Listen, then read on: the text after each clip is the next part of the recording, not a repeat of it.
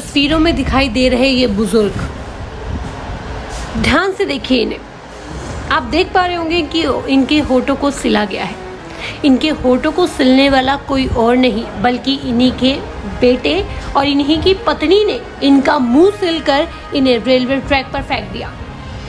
देखिए इस वीडियो को और अपने कमेंट ज़रूर हमें बताइएगा।